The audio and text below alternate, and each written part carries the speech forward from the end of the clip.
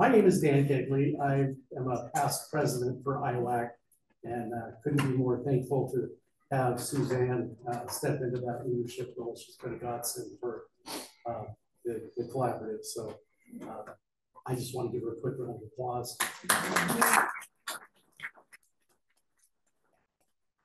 Has been an honor. Well, I so appreciate the opportunity. I, am glad I don't have to follow her because I, I feel those shoes. uh, this morning we have uh, John Porcello. He's with GSI Water Solutions. He came over from uh, Portland to give a little talk today on hydraulic modeling, a little bit of aquifer history. Um, John has been modeling close years, to 40 years. Close to 40 yeah. years now. Um, he does a lot of work locally with the city of Spokane, the Spokane Aquifer Joint Board, um, throughout the Portland, uh, well, throughout Washington, uh, down through California. Uh, he's, I was just telling Amy, he's forgotten more about modeling than I probably will ever know. So um, I'm not going to take any more of his time because I know he's got a lot to cover. So, John. Thanks. Yeah, 40 years of modeling explains the gray hair and, you know, all the mistakes you make along the way, which models can humble you.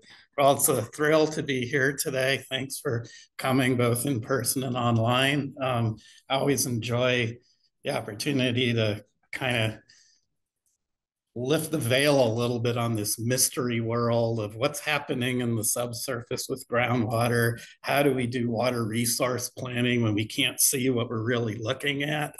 And how do we use computer models to help us figure that out? Um, I'm going to give you a very picture-based presentation today. It has a lot of slides. I don't expect you to see every detail on every slide. I just want you to get the big picture. And um, I'll probably take questions at the end just because there's sort of a rhythm to the presentation. Um, but, uh, you know, take a few notes. I'm happy to talk with you afterwards as well. Um, we're going to co cover about six topics here. First, I'll just start off with a little bit of the description of this regional aquifer system out here. And we'll talk a little bit about what a groundwater model is and what it does. Um, we'll talk about some of the history of groundwater modeling in this aquifer system. It actually goes back to the late 1970s. Um, I'll then spend a fair amount of time on the topic regarding the most recent models that have been produced here. And recent goes back to the 1990s, but there was a lot of really critical work that was done, particularly in the field, that helped make models better in those days and really were kind of the springboard for where we're at today. And then I want to end by talking about, you know, it's great to build models, but what do you do with them? And why should we build them, invest in them? What kind of uses are they really good for? And I'll give you a few examples from some recent studies and planning efforts of how they're being used. Um, and today, um, Seth Oliver from DEQ will be talking about models as well. He'll talk a little more about the software and some of the different ways that the software drives decision making about what you do with models. And then Amy will be building on that as well. Amy Summers from Spokane County and helping talk about kind of how important the data is that feeds into these models. Okay, before we get into those topics though, it's real important to acknowledge all the entities who already have done a great deal of work to help support what we already know today about the aquifer system and the quality of the models we have at hand. So of course, IWAC and Spokane Aquifer Joint Board, they're the two big multi-water purveyor entities that have been working on groundwater management issues in this aquifer. We have the local agencies, Spokane and Kootenai County in particular, and Panhandle Health District, who do much work in terms of data collection, groundwater quality protection, and those kinds of things. And then, of course, there's other entities. We have state agencies, we have the research community, and last but not least, we have all the water providers themselves who are collecting important data and doing the actual management of the water supply. All right, let's talk about the aquifer. And I always like to start with the location map. here we are. The red area is our aquifer system. It's sitting inside the watersheds for Coeur d'Alene Lake, shown in green is the watershed for that lake. And for Lake Oreille, the watershed shown in orange. This is from the Spokane Aquifer Atlas. Probably many of you have seen this graphic before. And of course, the blue outline is the Columbia River watershed. Um, this map shows, uh, this was produced by the USGS when they were building their model back in the mid 2000s, just showing the areal extent of the whole aquifer system. Um, they do identify a couple areas, Spirit Valley and Hoodoo Valley up to the north, that are part of the aquifer system. They're also a little bit hydraulically separate from the aquifer system but they are part of the aquifer system. Um, so we have this long aquifer extending from Lake Oreille down into downtown Spokane and beyond, a distance of what I think over 70, maybe 80 miles, quite a regionally extensive system. There have been different boundaries of the aquifer delineated over time. Um, back in the 70s, the aquifer got designated by EPA as a sole source aquifer, which was a formal recognition that it's the only water supply for this region. And so at that time, EPA delineated an area that you see in blue up there in that upper graphic. Later on, the USGS and other researchers working in the area from kind of more a geologic perspective delineated the area in orange as the, the SVRP aquifer. And that's what most studies work with these days. Um, this is just a map from one of the many models that's been uh, developed over time. This was uh, one we got generate in 2012.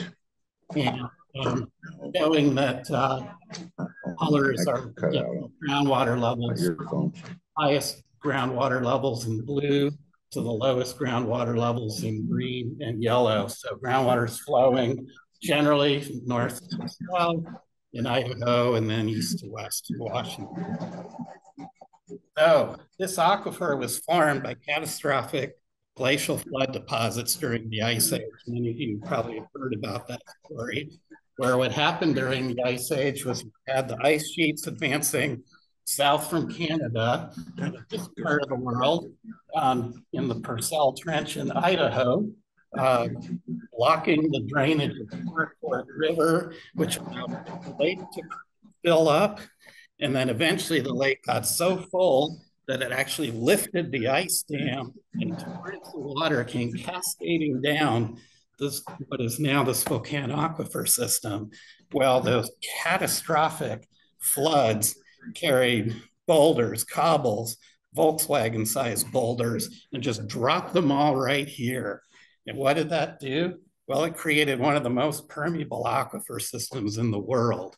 And what I'm showing you here are grids from two different models where the black model, black grid, I'm sorry, is a grid from kind of a regional scale USGS model that's mostly thinking about what's this resource on a, you know, aquifer wide scale. The blue is a grid we developed for the purveyors at one point in time to help them think about how our individual wells um, behaving in the aquifer system. So we had to define that really fine grid. And we had to do it that way because they put the well so darn close together in this aquifer because it's so crazy permeable. And I was using a piece of software out of the Netherlands to do this. And at one point, I think I emailed the um, grid and the model back to the author, and he emailed back saying, "What the heck are you doing with that grid design?" And it's like, well, it's a whole different aquifer out here. It's not the kind we're used to. And certainly you can see that elsewhere. The previous slide was one of um, consolidated irrigation districts, well fields. This is City of Spokane over at the Well Electric Well Station. I'm sure some of you have been there and seen that large diameter caissons right next to each other in the ground, pumping huge amounts of water. And what I always thought was interesting, and Dan was telling me some of this history a while back, and it's documented elsewhere, was that back when they built Upriver Dam and they were trying to put the footing for the dam on the south side of the river, they were trying to dewater the gravels there and they just had trouble doing it. Now they got the footing in and everything's fine. Well, that was mid 1980s.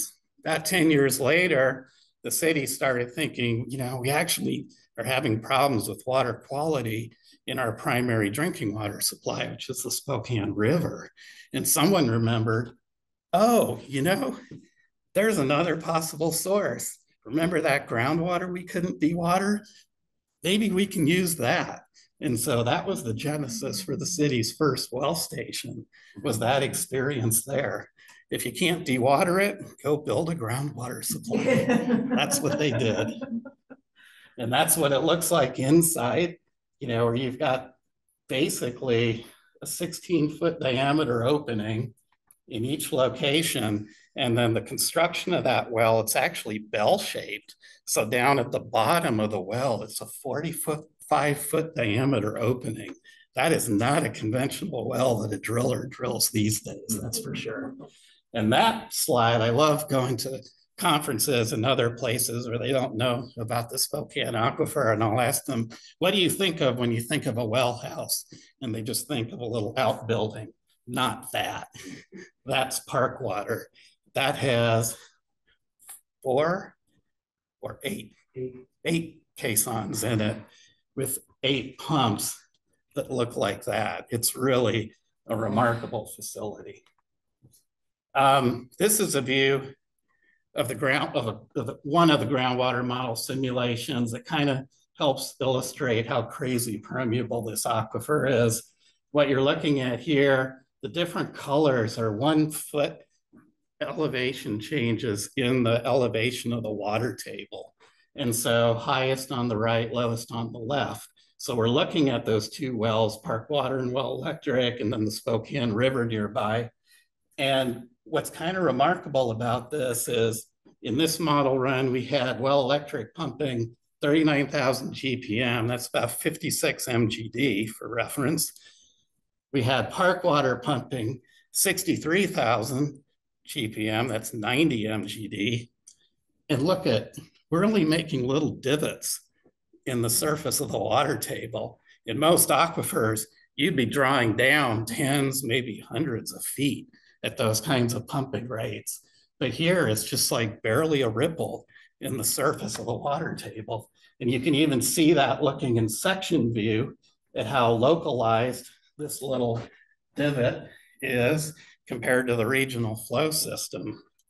Um, well, that's modeling world. What about real data?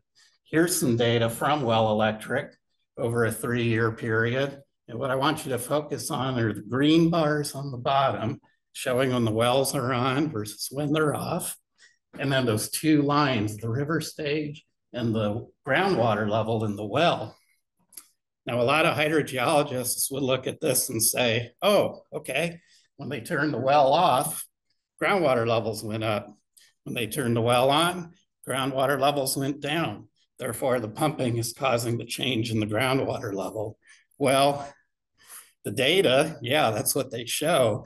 But what they really show is that the river stage is what's driving the groundwater level, not so much the pumping. And that's again a reflection of how crazy permeable this aquifer is. Okay, so that was some background on the aquifer. Let's talk about groundwater models and what they do. I like to describe groundwater models as simulating two things, the plumbing, which is the subsurface geology and what types of sediments or rock materials we have, how permeable they are, and then the water in the plumbing, which is where do we have water entering the aquifer, recharge occurring, at what rates, how does that vary on a monthly or seasonal or annual basis? Where do we have groundwater pumping occurring to meet groundwater supply needs?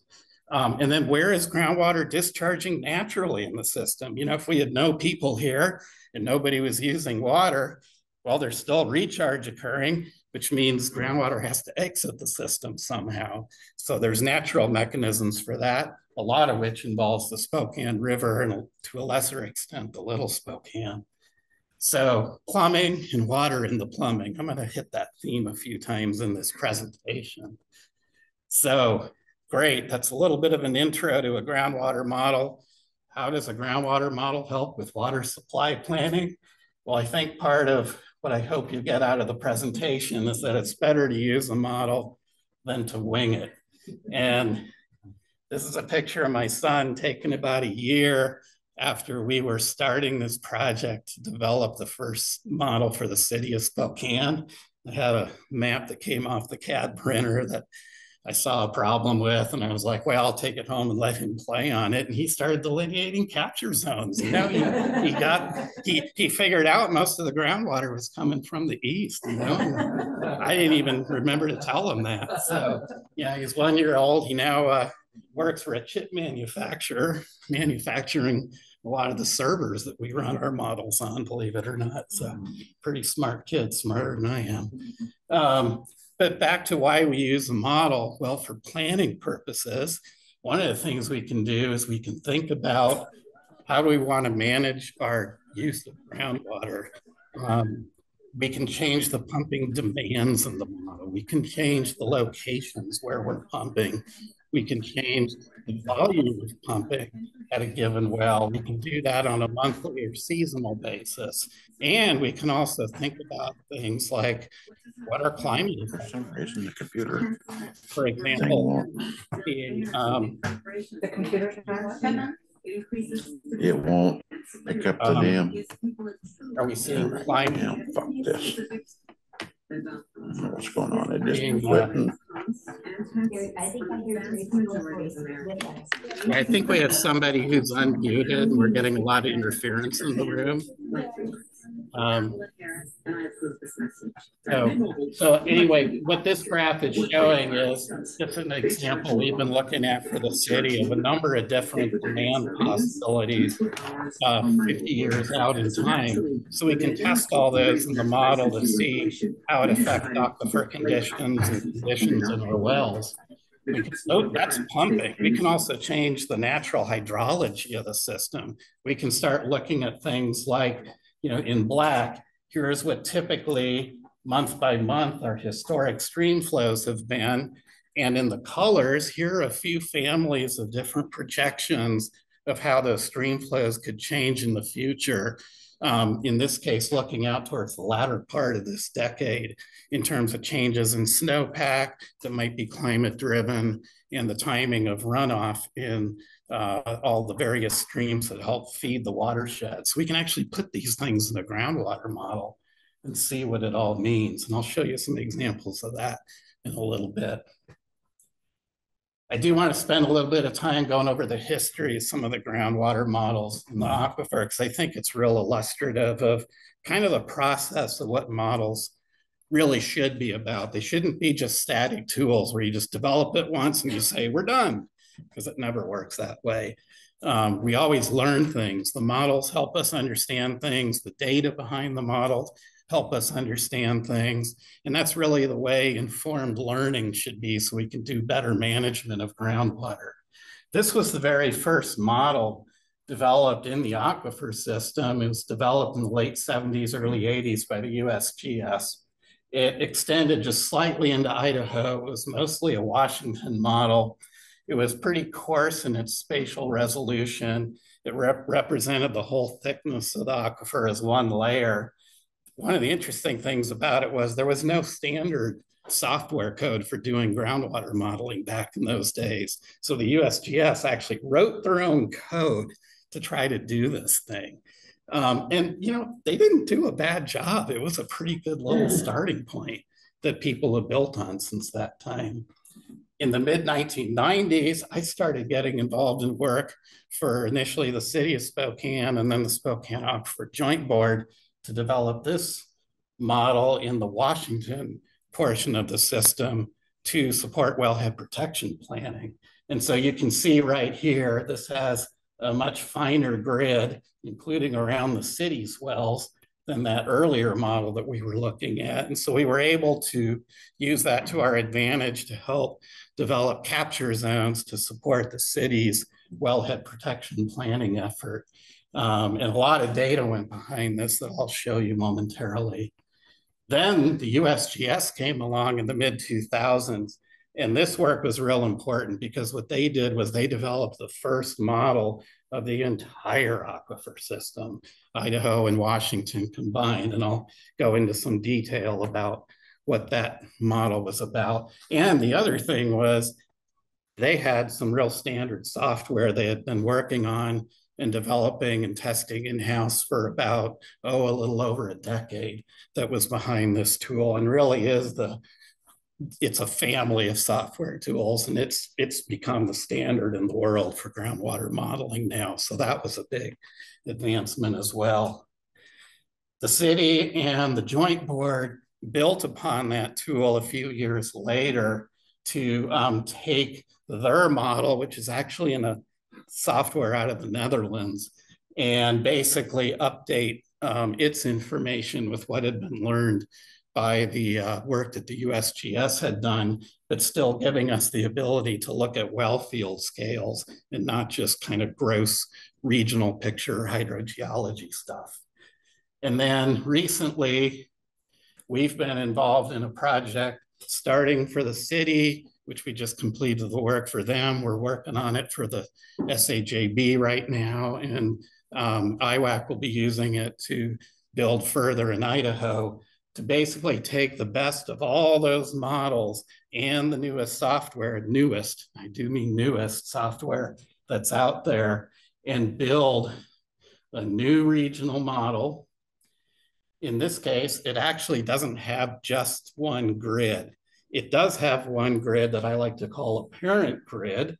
We've built it to have just a uniform spacing about 400 feet by 400 feet for every little grid cell, which is about, each cell is about a third the size of what that old USGS model was.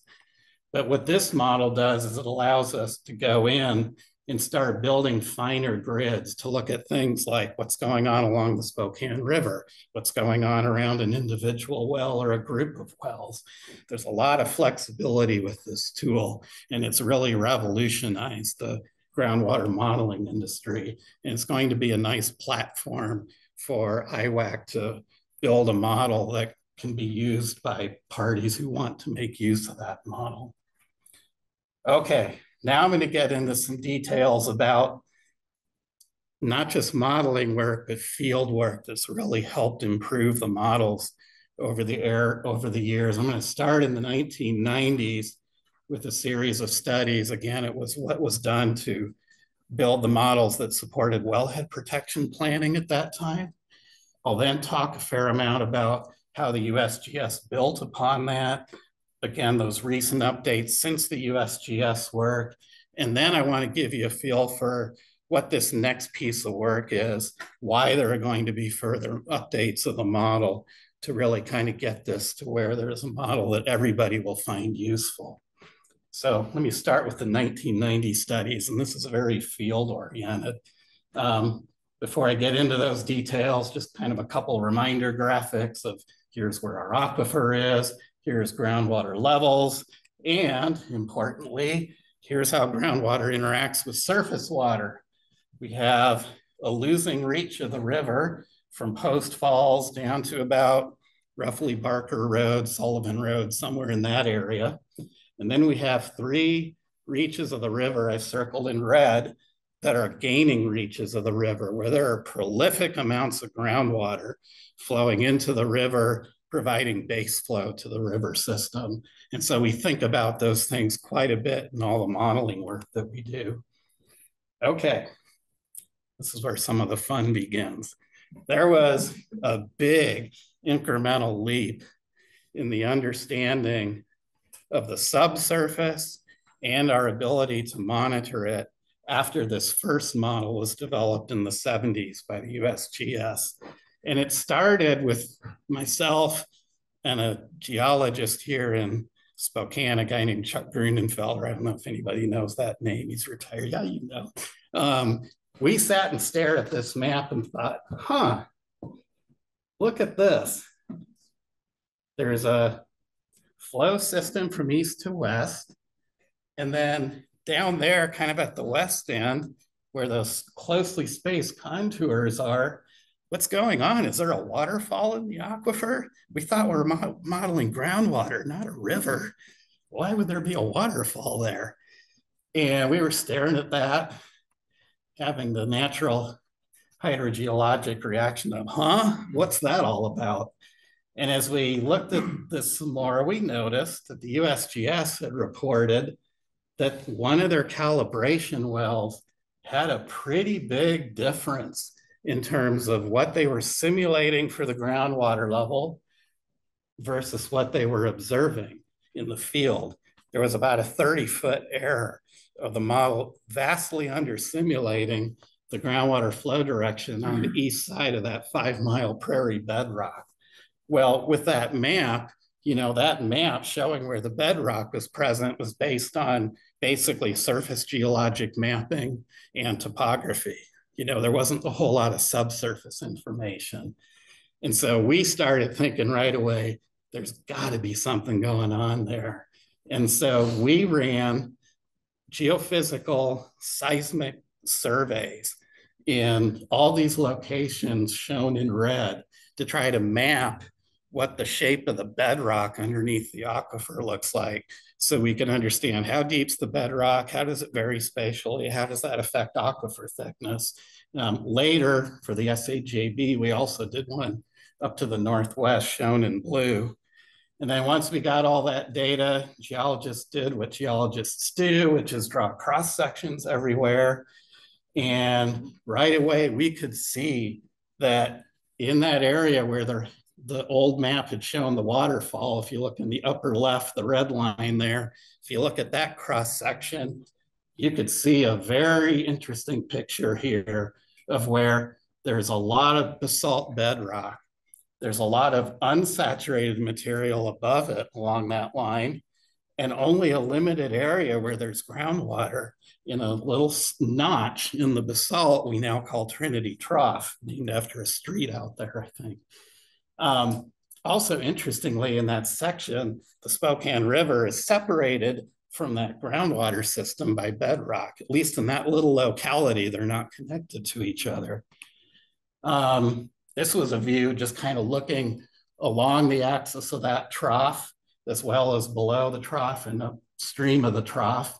You see very flat water tables above and below the trough and a steep slope to the water table in the trough.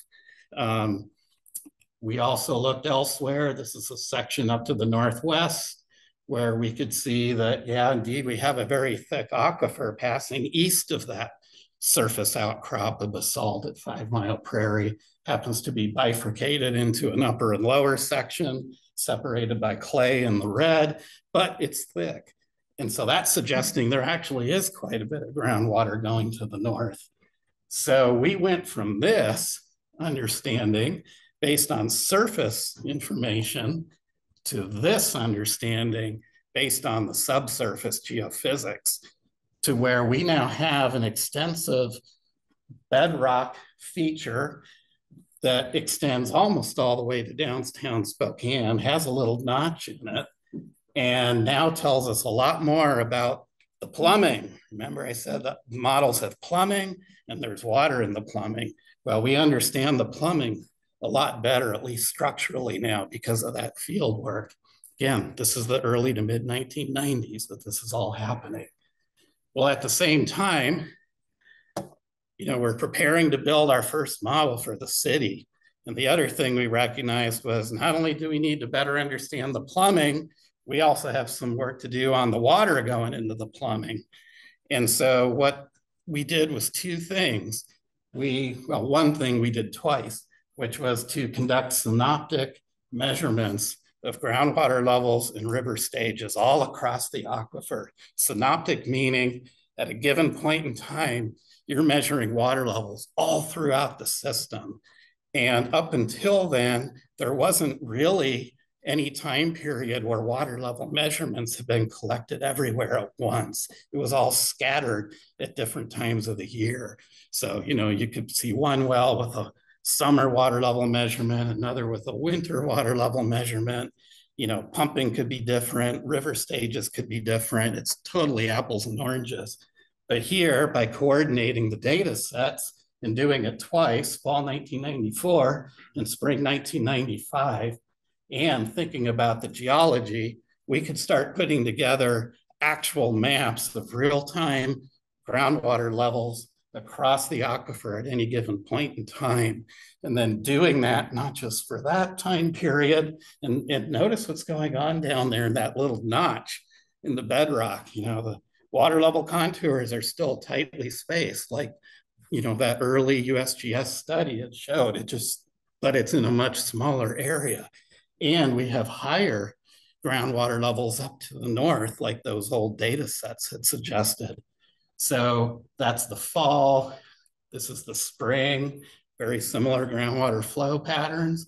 Okay, now we've got the water and the plumbing.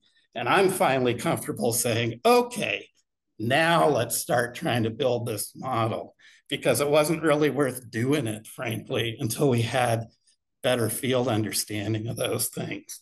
And when we built the model, and we started mapping out our model error, in other words, how different is the modeled water level versus the measured water level, and we contour that up spatially. You know, there's a 400 foot difference in elevation between the state line and the northwest edge where the groundwater is discharging. And over that 400 foot difference, I'm mapping out error on a five foot interval basis. So the blue, light blue and this dark green basically are saying we've got the groundwater levels within about five feet of reality. And look at how large an area is filled by the dark green and the light blue. And it happened not because we were manipulating math in the model, it's because we went and got all this meaningful field data mm-hmm. and the calibration practically fell into place. We did that. It was really something to see. That became work that got has been used to this day. The USGS incorporated that into their bi-state model and did a bunch of other things I'm going to explain next. So here's that map again, showing the areal extent of the aquifer. Um, this is from their model report. One of the first things they did was to think about what's going on up in Spirit Valley, Hoodoo Valley, and the connection to the northern Rathdrum Prairie.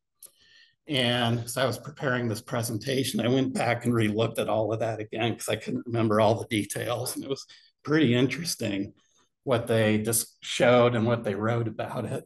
What they saw was that if they looked at the pair of wells I've circled in blue versus the pair of wells I've circled in red, I mean, they're not that far apart, but there's a hundred foot difference in groundwater elevations over that short a distance. And, you know, they were looking at a lot of water level data as they were thinking about that. And so what they concluded was that, okay, if there's that much difference, again, that's not a waterfall going on. It's probably a little like that five mile bedrock area. There's probably a constriction or something in the subsurface that's limiting how much water can move from the blue down to the red wells. And so these are just a lot of words, but basically what they said was, okay, all that water level data is actually giving us a clue about the subsurface and how it's behaving. We might have difficulty finding, like if you gave the classic geologist an assignment of go find what that structure is or what that type of rock is, they might have a hard time finding it. But the water level data gives us a clue. And I don't know how many of you like to read mystery novels. I do.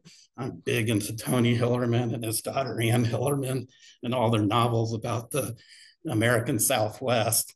Um, but in so many of those books, there's often something you've overlooked that is actually the clue to solving the crime. And in this case, the water level data is the clue to telling us what's really going on in the subsurface. And that was what the USGS concluded was going on up here. So they put a lot of thought into that. Then they compiled all the data for the wells that are present in the aquifer. The blue wells are withdrawing water from the SVRP. The brown wells, not many of them, but there's a few like in Ramsey Channel, Chilco Channel, they're actually drawing from basalt or clay materials And then in a few cases, there's wells drilled into bedrock, um, particularly up near the Ramsey Channel. Um, they did the same for for the Washington portion of the aquifer, and then put all that into the model, developed cross sections all over the place. Classic example of the slide. Don't worry about reading it. It's impossible to read. Go see the report. Big picture, lots of cross sections. And that all helps inform the model. They then developed contour maps that they programmed into the model of the elevation of the base. In other words, the top of the bedrock, the bottom of the SVRP aquifer, that goes in the model. They developed contours showing the thickness of the aquifer, that goes into the model. Notice the thickest areas are up there in North Idaho and what's called the West Main Channel. And in, in the brown, the olive color next to the brown is also pretty thick, and that's extending in the southern Rathdrum Prairie. Little less thick as it crosses the state line, still fairly thick. It's 400 to 600 feet. Um, but then it becomes more than 600 feet as you get further downstream into Washington. That all goes into the model.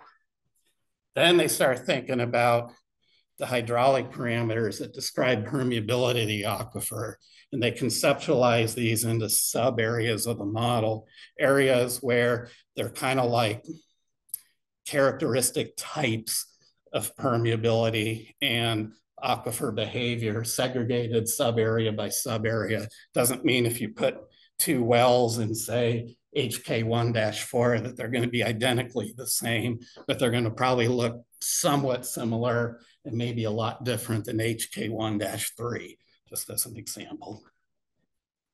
They also then went to a lot of trouble to figure out how water is getting into the system, including from all of these tributary valleys surrounding the aquifer system. And so each of those black dots is a place where there is a sub watershed funneling water to the edge of the aquifer. And of course, you know, if you look at all the maps of the aquifer and around the region, you don't see streams or rivers over the aquifer except for the Spokane River. That's the only one. Um, everywhere else, those drainages are contributing water to the edge of the aquifer, and then it's just going right into the ground. And so the USGS figured out where those points are, um, how much water is getting to those points, and how that varies monthly and seasonally as well. That was part of their construction and calibration effort of that model, was figuring out the time variation of those terms. Um, they mapped out the locations of water purveyor wells, the dots, and the service areas for those wells. That's of about around the time period 2000 to 2002. Interesting how really there's not a lot of dots in the Idaho side, but you know, there are some, of course, where the cities are. Um, they mapped out irrigated land parcels. Um, and these are the non-urban land parcels, so largely agricultural. Um, of course, there are some golf courses that have their own water supply wells. Those got mapped in here. The different colors are basically saying on kind of a per acre basis, what percentage of that area had this type of irrigation going on that was not related to urban development. And so you can see quite a bit in Idaho, um, particularly in the central part of the kind of the southern Rathdrum Prairie area, not as much in Washington. Um, sewer hookup densities. So that this was important because septic systems actually recharge groundwater. So where we're not sewered, we have to think about that contribution from a water budget standpoint. So what this map did was it looked at, okay, where we have sewers, we're not going to have that return flow back to the aquifer. And this was another one of those density maps. Notice down here in city of Spokane Valley, that area had, by this point in time, which was 2000, had gone from very low um, sewer density to 0.75, you know, almost completely sewered. And then, of course, over in Idaho, you see areas where the cities are that are sewered. Um, few that are not, including just south of Hayden Lake. And this again was as of the year 2000. That all went into the model. Okay, so they put all these data into the model, and now what they're thinking of, about is how well is our model calibrated? And they started looking at the output from the model and many things they did to look at that. I'll just walk through a few. This one actually caught my eye as I was going through the report recently. Um, this was their representation of how much groundwater levels changed over about an 18 month period from a, a summer low condition in the fall of 2004 to a high spring condition. They picked it a year and a half later rather than a half year later. I don't know why, but they did. Um, and it's it's an interesting map because look at the size of the triangle dictates how much change in water levels there is seasonally. That's what this map is doing. Well, look at where the variations are. The biggest variations, the biggest triangles in Idaho, they're along the very margins of the aquifer. That's reflecting variations in how much recharge is reaching the aquifer and then sinking in right on those outer margins of the aquifer. The middle of Rathdrum Prairie, those triangles are small. That's because the recharge is just far enough away and we don't have streams over the aquifer fluctuating how much they put into the aquifer on a seasonal basis. And even though there's seasonality in groundwater pumping, look at how small those triangles are. That's really fascinating. Again, I don't see that in many aquifer systems I work in, and I work in a lot. Look also in Washington, particularly from the state line down to um, that bedrock feature, the triangles are moderate to large in size. That's reflecting the fact that the Spokane River is driving how much water level change we see um, because it causes leakage into the aquifer from the state line down to about Barker Road, and then there's some groundwater return back into the system. So I think that's a really interesting map. Um, another output from their model was they just basically said, okay, now given everything we know about the aquifer, all the data we put into the model and our simulation, here's our best estimate of a set of groundwater elevation contours at various points in time. This happened to be the fall season low water table elevation of the aquifer. That's a nice map to help us kind of look at and think about, okay, when we put all these data sets together and our understanding of the aquifer, what is it telling us about the way the system behaves? They also mapped out the errors in their model. And these are errors in groundwater levels, what the model's simulating versus what was measured in the field. And the only thing to take away from this is that the negative values shown in orange, the positive errors shown in green, they're actually kind of clustered spatially. There's not a random spatial distribution. There is a little bit, I mean, you see some in some local areas, you get some of both, but you get a lot of areas in Washington where it's orange triangles, and in Rathdrum Prairie, you get a lot of the green triangles. And this is one of the things in model geekery world that we have to spend a lot of time and sometimes can be very difficult to address is how do you get rid of spatial bias? in how well a model is performing um, to replicate field data. So there you just heard a bunch of geekery. Um, besides looking at groundwater elevations, they spent a lot of time and rightfully so looking at um, the, how the model simulating the exchanges of water between the Spokane River and the aquifer system, both in the losing reach and in these gaining reaches. And so those plots, the model result is the solid line. The dots are their best estimate of what the stream gauging and field measurements are telling them is the rate of gain or loss. And then of course the vertical bars are the error on their field estimate. And you can see there's some really big errors and uncertainties really is the word to think about around those field measurements. And they're just simply comparing How well does the model behave? Are we, are we simulating a losing reach where we should simulate a losing reach? Are we simulating a gaining reach where we should simulate a gaining reach? And generally the model's doing that. And then the question is just, are the rates of exchange reasonable? So us modelers think about that all the time. And this was just a similar plot for the Little Spokane River, um, which is gaining from Dartford down to the near Dartford gauge.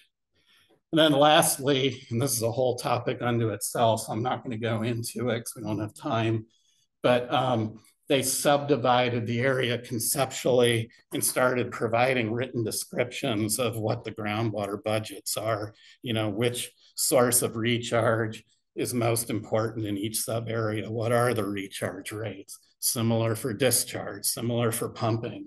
You can read all that in their report. I'm not going to get into it here but that's a common use of a groundwater model is to understand the water budget, the water balance, not just aquifer wide, but in sub areas of interest.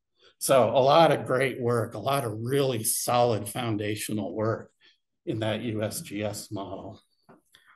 Um, afterwards, that wasn't the end of the story. There have been people who've used that model and there have been updates to that model that have occurred. And I'm going to talk about two of them we've been fortunate enough to be involved in. And they've looked at two aspects of the model in certain areas. One is the thickness of the aquifer um, at a few locations in Washington, mainly work that the city of Spokane has been conducting. And then also this parameter hydraulic conductivity that's a hydraulic property of the soils in the aquifer system, describes how permeable they are. Field work in Washington that's been very illuminative and has helped us understand, ironically, a little more about what those properties look, might look like in Idaho, which may seem odd, but I'll explain that in a minute. Start with the aquifer thickness. The city of Spokane has conducted drilling work and other work at three of its well stations, two on the south side of the margin of the aquifer, Ray Street in Havana, and a study still ongoing at um, Well Electric over on the north side. This is a contour map, shaded contour map of thickness of the aquifer as we understood it before those studies. So red and orange, those are the thickest parts of the aquifer, you know, 550 feet or thicker. Blues are the thinnest parts of the aquifer as we understood it. That understanding is based on a lot on kind of regional geophysics and what they call gravity surveys, as well as some of those other sections I showed you earlier. Um, ask me afterwards what a gravity survey is. Um, good information, but it doesn't tell you like what what happens at a point right? Like where we're going to drill a well. It's very regional, broad brush kind of stuff. Um, well drilling occurred at each of these sites and really changed our understanding of them. If you go back to this prior map, look down at Ray Street, our best estimate before the drilling occurred was that there might be around 300, 350 feet of SVRP at that location. Havana hard to know. It's kind of right on the edge of the aquifer. It might be 100 feet or less, it might be two or 300 feet. Well, electric, probably something less than 300 feet. Well, what the drilling has shown us is that Ray Street is a lot thinner than we thought, no more than 100 feet thick. Havana Street, aquifer thickness there is around 50 to 70 feet, if I remember correctly. And they've actually built a new well field there and just started operating it recently. Um, well Electric, that's actually turning out to be a thicker sequence of aquifer than we thought. And it has different geologic materials than we thought. We've done quite a bit of exploratory drilling, two holes on the property itself, plus two on a piece of property up to the north. Um, this is just a picture of a sonic coring drill rig where they can take continuous core samples and we can study them to see what the materials are. Sometimes it doesn't work so easily in this aquifer where the cobbles and gravels are big. It has a hard time capturing them. But if you start seeing something other than cobbles and gravels, it'll pick it up. And in fact, we found something we didn't expect to see here. And this is where I, the modeler, are going to keep saying the more field work we can do, the better.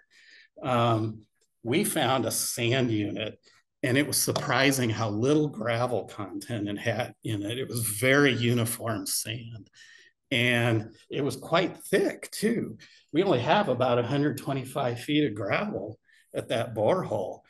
I thought it was going to be three, 400 feet thick. Nope, we've got a thick aquifer, but a lot of it's sand.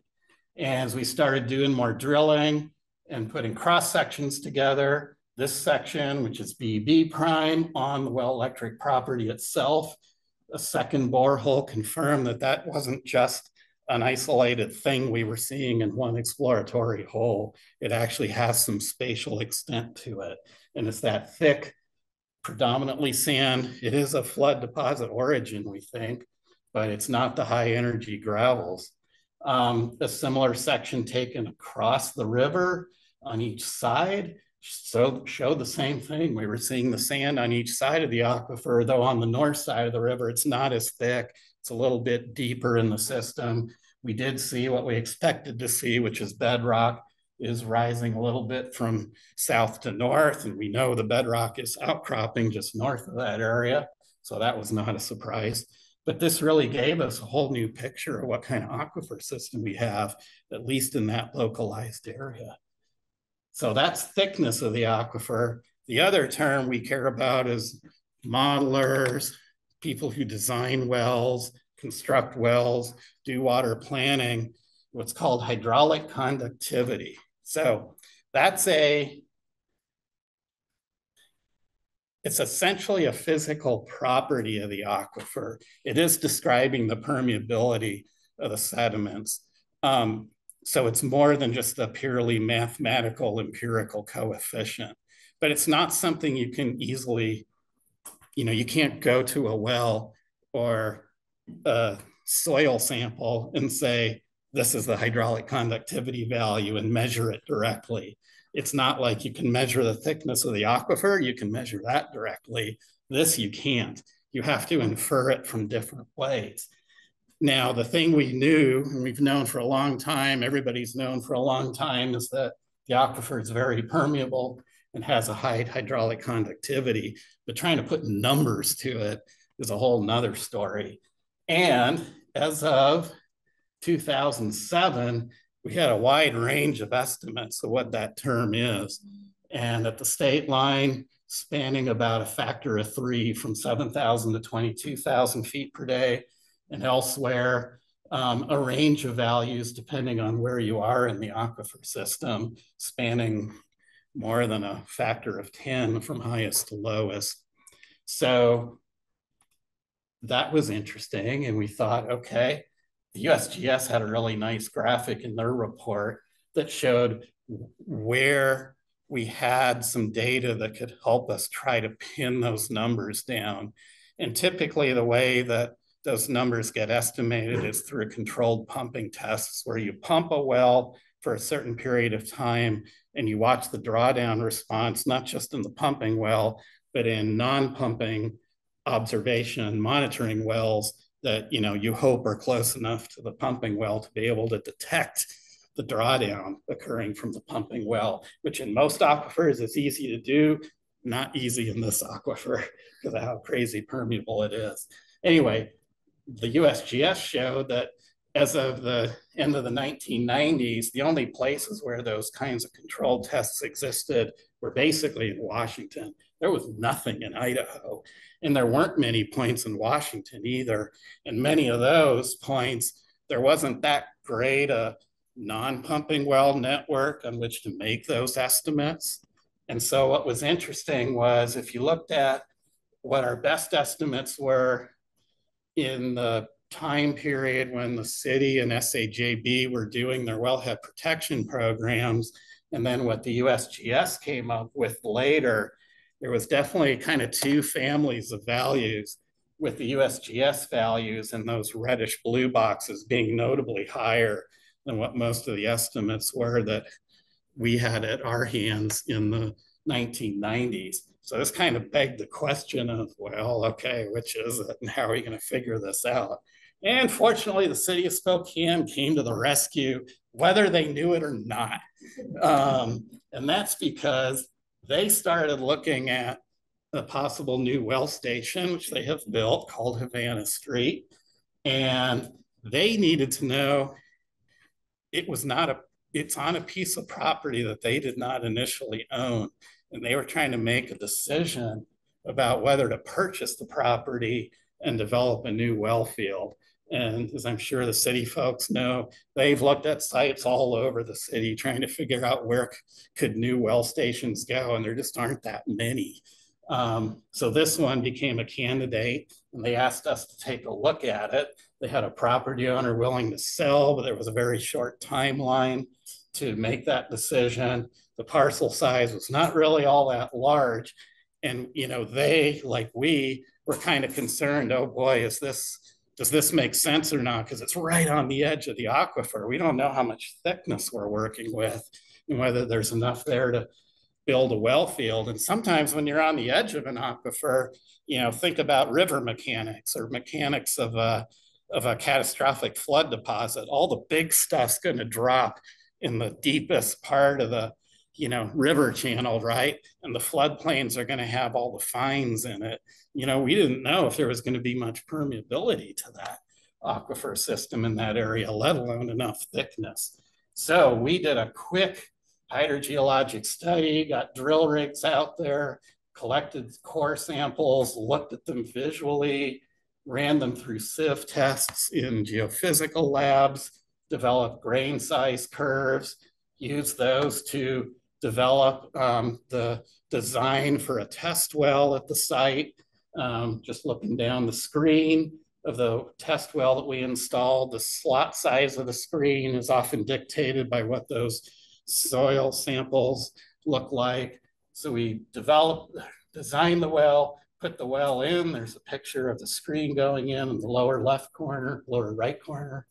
Once the well was in, we hooked up a bunch of piping to the nearest city storm system we could find and then made sure working with city staff we could actually discharge the water and not cause issues with the stormwater permits. And then we started testing the well. We did 60 minute tests at a number of different pumping rates ranging from 810 to 1850 gallons per minute. Basically, those rates were um, constrained more by the size of the well we picked more than the aquifer as it turned out. We probably could have pumped a lot more with a larger well.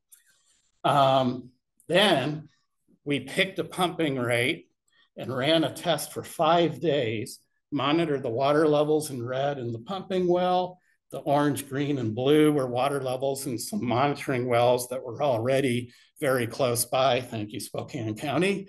Um, and we had transducers in them tracking the water level fluctuations like every minute or so.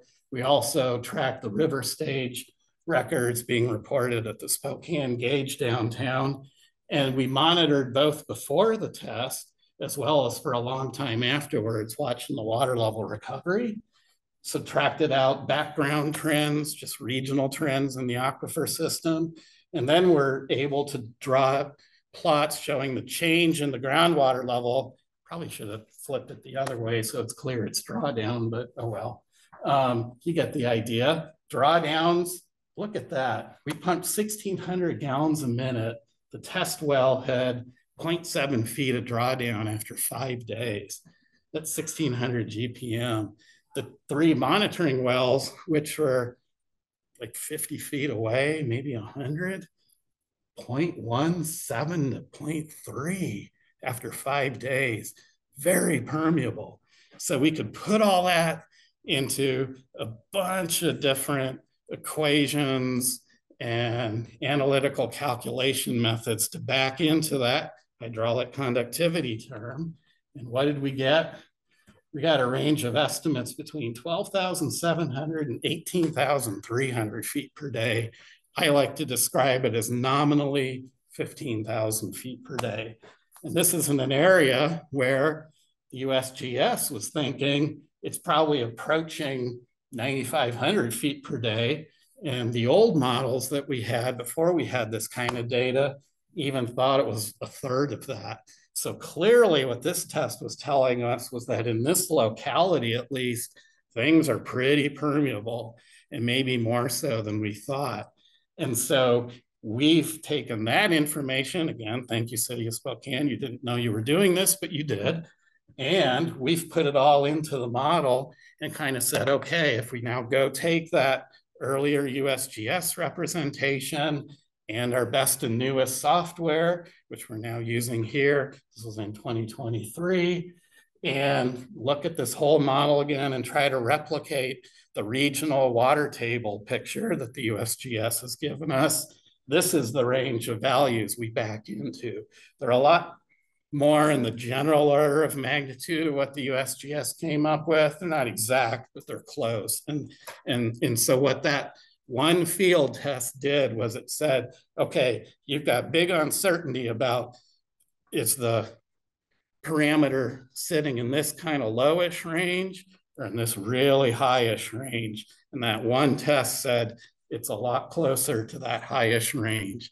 And it really, really to me, it was a big incremental thing in improving our understanding of the aquifer system. Okay. Thanks for hanging with me in through all of this. We're getting somewhat towards the end.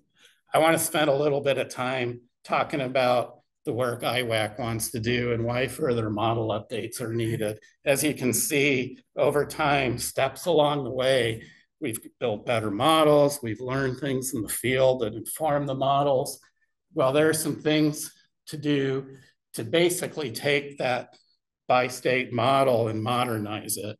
One of the things to do is to give it much better spatial resolution than it had. It, as you saw from some of the early slides, if you have a well field with multiple wells, the grid sizes were way too coarse for being able to ask yourself questions about how each well is performing and the drawdown interference between wells and you know what's happening with water levels at each well. And you know that also limits the ability to do other things like delineate capture zones for a wellhead protection program. So that's a fairly easy thing to do we've already done a lot of work in this area to um, actually already take this model and put a much more refined grid into it um, but another reason to update the model was that it kind of had non-ideal layering in it. And what I mean by that is that in most of the aquifer, they use just one layer to represent the whole darn thickness of the aquifer. And the only place they didn't do it was up here in this area called Hillyard Trough, where the geologists had already identified that there's an upper aquifer, a clay, and then a lower aquifer. Well, the problem with that is that's not really the way the system behaves or is structured. If you look at most wells and cross sections, they don't penetrate the water table very far. Why? Because why pay a driller more if you got this crazy productive aquifer? Nobody's going to do that. Um, the only deep holes are actually those cathodic protection holes. Um, they're not pumping wells. And the geologic logs on them, you know, they're decent, but they're not quite as detailed as what you might get as um, for a water well. And so that actually matters for water planning.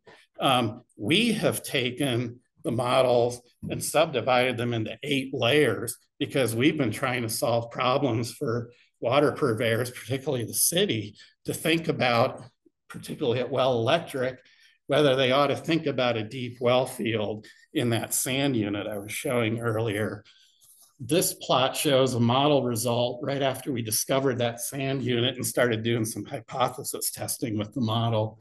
The yellow lines are showing if you pump the caisson wells in the shallow layer, layer one, here's where the water wants to come from. If you design a series of wells down in what was the fourth through seventh layers of the model, here's where the water wants to come from. Two totally different directions. You can't come up with that if you only have one layer in your model, it's never going to produce that result. And so, you know, that matters. Just another view of the cross section, you can see that, you know, you get two very different interpretations of where the water is coming from. And that's obviously important when you're thinking about, you know, the quality of the water, what's in connection with the river close by versus farther away which is one of the things the city was thinking a lot about at this well station. So having better layering is something important to do with the model. Um, the other thing was the USGS, and they've done this in a number of basins, particularly back in that era. I don't know if they do it as much anymore, but they would tend to lump together pumping and all the return flows from pumping. So if you looked at a well in the model and you say, oh, I think it's pumping 2000 GPM, well, it might actually be pumping 2200 or 2300, but they called it 2000 because they were subtracting out the return percolation from irrigation water uses from that well. And then also, if that well contributes to septic systems, they're subtracting out that return flow as well. Well, that makes it hard to go and take a model and say, I want to vary the pumping to test a different water management scheme. So we've actually already done some work to try to break apart those terms. It wasn't easy. It was very frustrating, actually. And our current model gets us something closer back to the aquifer-wide pumping. That's primarily in Washington, and there's more work to do on this front in Idaho. Reason number four is the fact that the model was calibrated through 2005. Well, that's almost 20 years ago, and a lot has changed since then. Tons of growth here in Idaho. So different wells, probably more wells, retirement of ag lands, conversion to urban lands, that sort of thing. That should get all updated in the model. That's an important thing to do. And of course, you know, whatever the year to year and monthly variations and the natural hydrology were are not going to be the same before 2005 as what they were since then. So we want to cap capture those changes as well. And then lastly, it's my belief that I think what IWAC would want out of this is kind of a common modeling platform for everybody to work from. And I think that's going to be a major goal of the project. And, and this new software really helps get us there because you can create this parent grid and then people can go and embed child grids wherever they want to look at an issue of interest. And I'll just give you an example how that played out in a basin I do a lot of work in down in uh, Southern California, just north of LA. This is the Santa Clarita Valley where maybe some of you know where Magic Mountain is. It's that basin down there.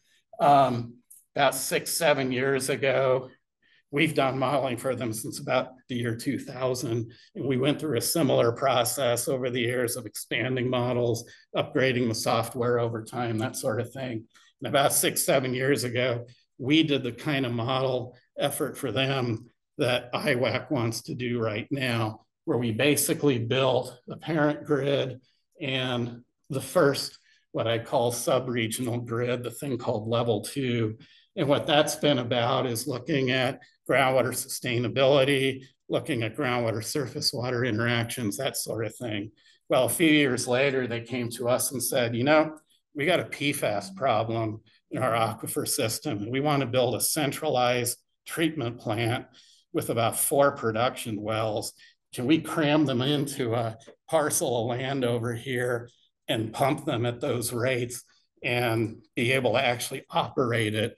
Or is there going to be too much drawdown interference? So we created this level three grid here to examine that problem. And that's kind of the vision I have for what this IWAC model could be, is that people could use it to look at, you know, um, any issue they want to for their individual water system, as well as looking at regional water management at the same time.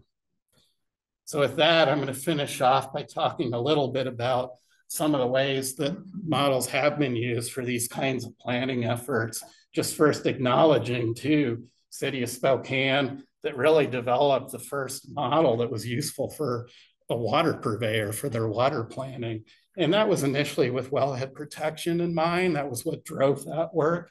Um, after the bi-state model was created, um, they went and expanded the model into Idaho, again, to give them that tool that helps water purveyors, but also covers the whole aquifer system.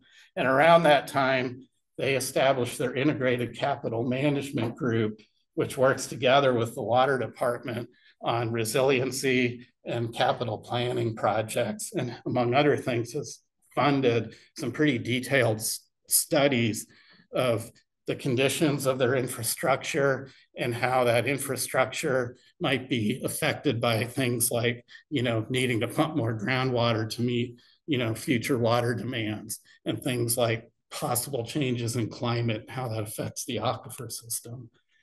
Besides the city, SAJB, I think many of you know that group, cities, water districts, water and power companies, irrigation districts, and some large businesses, all relying on the SVRP for their water supply. Formed in 1995, really with the goal primarily to implement wellhead protection and groundwater quality protection, but they have funded some water resource studies. And then, of course, IWAC founded roughly 10 years ago or so. Um, 19 members, all water purveyors, five advisory members. And, you know, their mission being to develop management strategies protective of the whole aquifer, facilitate regional dialogues and technical studies.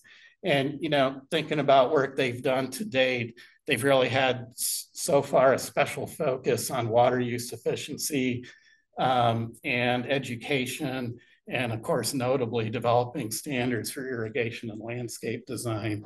And they want to take this next step now with, you know, let's let's have this groundwater model that's going to be useful to everybody.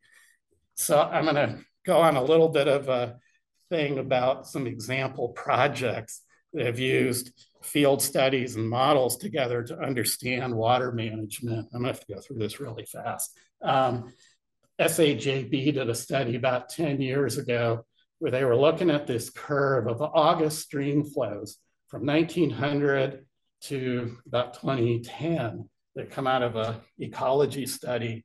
And SAJB was scratching its head going, huh, why are the stream flows in the summer still decreasing over time when water use efficiency has improved? Um, there's a lot less agricultural irrigation with all of its leaky canals and all this other stuff pulling water out of the river. And why at the same time is that happening when the USGS, not in the bi-state model, but in a separate study, had come out saying that the inflows to Coeur d'Alene Lake and the Spokane River were not showing any signs that they too were decreasing, like this plot was showing. This is a plot downtown at the Spokane gauge. I'm sorry, I forgot to mention that. And SAJB was scratching its head, going, huh, okay, what does that mean too? Now that ecology is gone and put an in-stream flow standard into place down at the Spokane gauge, and if you think about that standard on the left, it's plotted in green against, you know, some of the flows in the driest years, which are plotted in red. You know, one thing we see right away is, oh boy, in some of those worst years, we can see, you know, flows that are a lot lower than that in-stream flow standard downtown. You know, why, how are we going to deal with that? How's the community going to deal with that? Um, and given this possible fact that we're seeing lower flows in the river as well. So we embarked on a detailed study. I don't have any time to get into. It was multiple phases. The first two phases were a combination of digging through historical data, running the groundwater model, and basically asking ourselves those three questions right there, which is, is groundwater pumping drying up the river, as some people in the community were asking. The answer turned out to be no. Has groundwater pumping uh, in increased volumes of pumping, are they continuing to increase? Well, if you go back and look at the whole historical record, the answer is no. Um, and then what's happening in the aquifer, you know, where we have wells with long-term records or records over the last few decades are we seeing problems like, say, in the Central Valley of California or other parts of the world where groundwater levels are declining pretty steadily over long time periods? And the answer is no, we're not seeing that here at all in this aquifer. Aquifer looks pretty healthy, actually. And so we looked at all that and we thought, why are river flows going down when the aquifer looks healthy? And the only thing we could think of was there must be something going on in the watershed upstream And so we looked at SNOTEL data, stepped out of the model world because we tried to think about it all with the model and went back to basics. Let's go look at some data. Let's look at SNOTEL data, particularly at kind of the mid elevations, not the very crest of the mountain range, but also not in the lowest areas. And that sunset station showed us some real interesting data about the amount of water in the snow, what we call the snow water equivalent.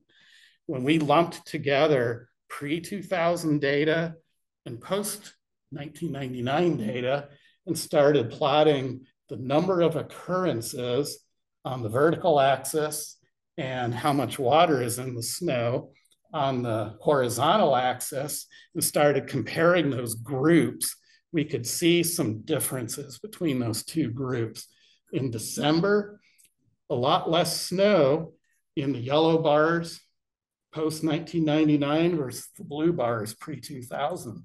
Well, that's early in the season. Maybe it's not so different. Let's look at that as we get more into other months of the year. There's January, hmm, still some differences. Here's February, looks kind of the same. I mean, the volumes are going up. We're seeing more and more snow, but the earlier time period isn't looking the same as the more recent time period. Here's March, uh, very similar pattern.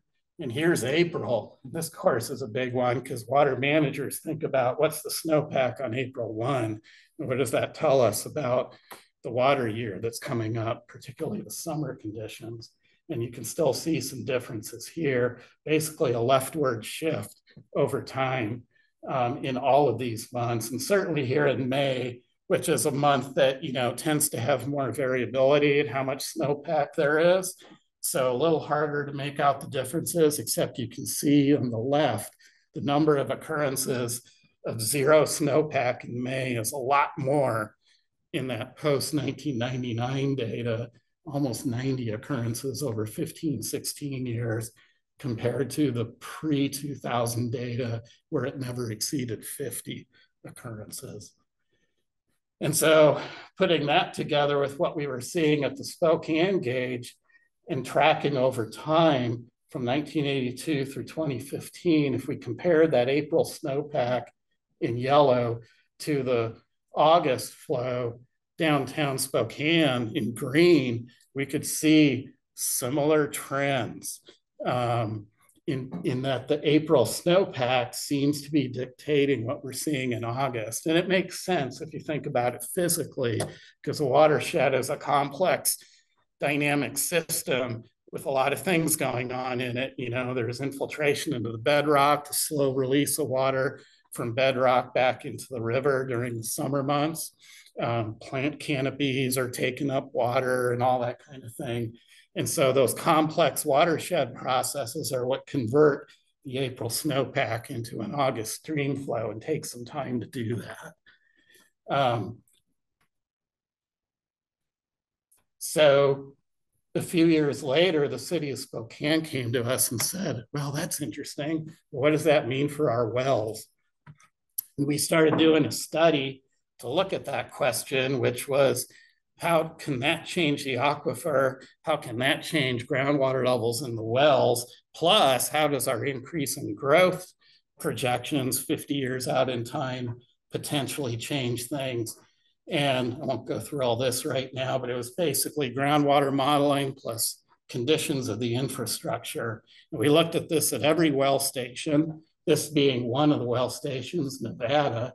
And we asked ourselves, okay, with all the modeling and all the projections, what is it suggesting about what could happen in the latter third of the century and in August?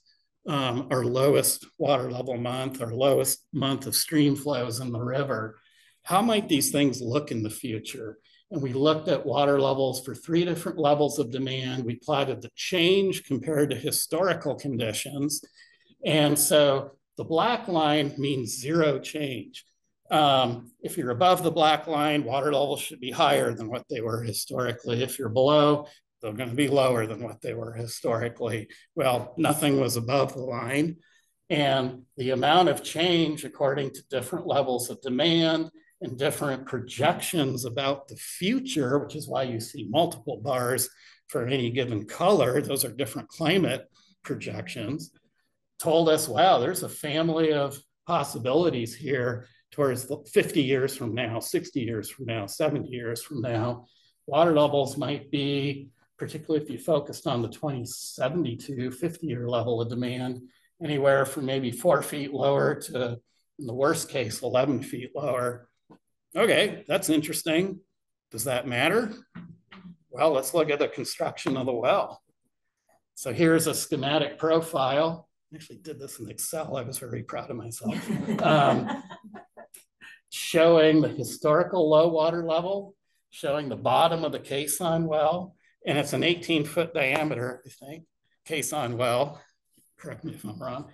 Um, so it's big, which means it has four pumps in it.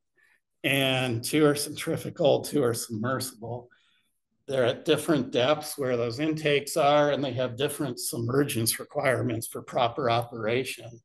Well, here's our historical low water column, the blue.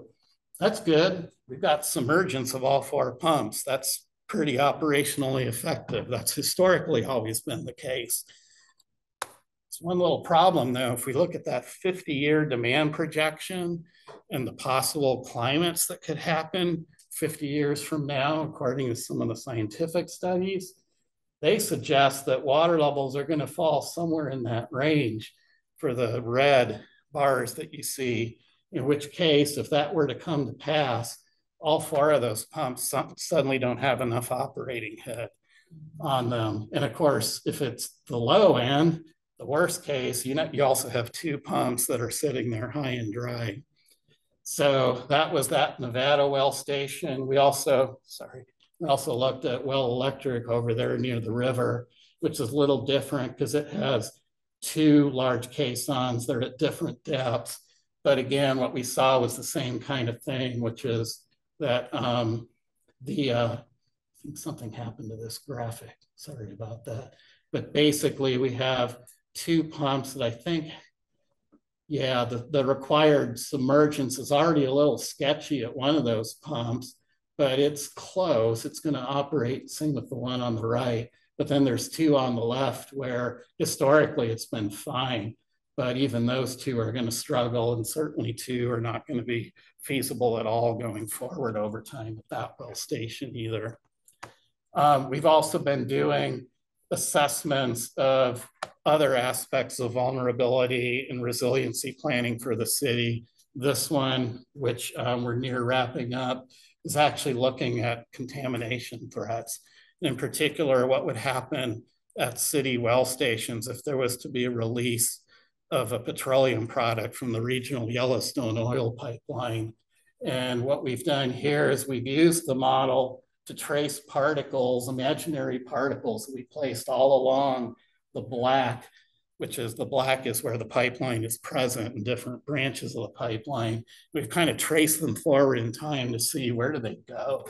And you can see some of them have the possibility of being picked up by certain wells, like well electric and Parkwater in particular. There's also some risk to Havana and Ray Street. And we've been thinking about that with respect to long-term resiliency because as highlighted in orange, Parkwater and well electric are their two largest production sources. They feed multiple pressure zones in the distribution system. They are key, key, key, key wells for providing a water a reliable water supply to the city. And so they're critical. And if any well goes down, they become even more critical. And if one of them goes down, things become critical too. We've used the model to actually estimate what could the travel time be to any of those wells from a release from the pipeline. And it's not years and years and years, it's months. And in fact, in Parkwater's case, there's one segment of the pipeline running pretty close by where if that segment were to have a failure, probably show up in one to two days. So the city is thinking about this in terms of its resiliency planning as well. So I just wanted to put this up there because it's not just about groundwater resource stuff. It's not just about pumping. It's about everything that goes into thinking about resiliency of an aquifer system. And with that, I'm going to close by saying again, I, as a groundwater modeler, feel the more information you can get and the more data you can do, the city is back out there doing more investigatory drilling at Well Electric to help inform its decision making about, in particular, possibly installing deep wells someday as one way to provide a more reliable water supply that is not influenced by high river flows, which they have to shut the well down when the river flows get high because you're too close to surface water and the water quality rules around that. And then the contamination threat from that pipeline. Those are two big reasons for the city to look hard at building a deep well field and to be able to use that well field reliably under just about any condition they can think of. So I did a lot of talking. Thank you for bearing with me. And like I said, I'll be around uh, if you have any questions. I don't know if we have time for some quick questions before the next speaker. Um, well, we're gonna take a, a quick, well, we've got a couple minutes, yeah. Couple minutes for, uh, questions, if anybody online or, um, anyone in the room has a question, or John will be here, you can catch him during the break. Um, Either way. Okay, oh, here we go. Was- Yeah. We didn't talk very much about the lakes on the Idaho side. Well, they are important contributors um, from the water budget perspective. And the lakes are really interesting because, you know, again, there's no streams coming out of the lakes. So what's happening with those is, you know, they have, they essentially butt up against the margin of the aquifer. So there's just this con- kind of continual bleeding of water out of the lake through the lake bed into the aquifer system.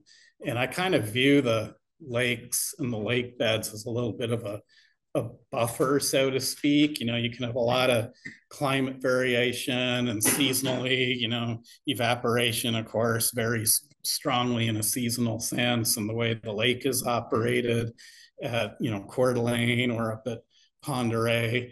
Um, that, you know, those, those all matter too. But with all these variations that go on on the surface, um, the fact that essentially the leakage is out the sides and probably a little bit of the bottom of the lake, um, you know, is, is probably just feeding a fairly constant amount of water into the lake, into the aquifer system. And the USGS had done a lot of work to, to look at what that looks like and had provided estimates that showed it was important. Yeah. How much looking into the pros and cons of dams have you guys done? As far as retaining water that might force more into the aquifer, obviously it's affecting flows in the river. Yeah, we haven't done a lot of that here. Um, up at Coeur d'Alene, up at Lake Coeur d'Alene, you know, it's a little bit, the dams are all sitting on bedrock up there and the, the river's sitting on bedrock. It's not really leaking a lot into the aquifer until it starts moving beyond the um, the dam. There's probably a little bit, you know, where the glacial sediments kind of came right up to the edge of the river above the dam. There's probably a little bit of leakage there. But I think the way that dams operated is probably more significant with respect to how much water is coming down the river um, below Post Falls. Um, uh, I mean, it, it will have some influence on the groundwater system too. There is there is an issue, you know, issues not the word, but there's a relationship there probably.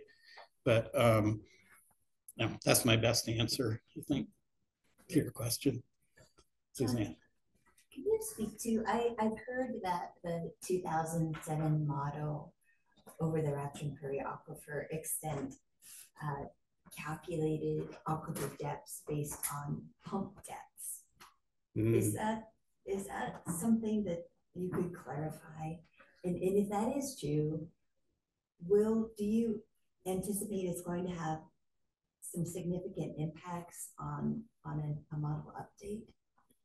We'll want to look at that. Um, the the report that they wrote says that they were using, um, you know, geologic studies to map out the basement bedrock. Mm-hmm. But I, I had wondered a little bit about some of the thickness up there in that Chilco Channel area and Ramsey Channel. You know, how much, how much control really was there up there? And I don't know if that's the area you're thinking mm-hmm. about. Of them.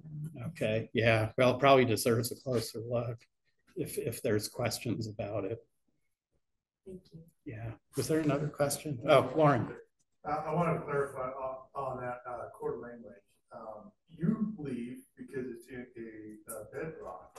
Yeah. That the lake itself is not a major contributor to the aquifer, other than feeding the river all summer long.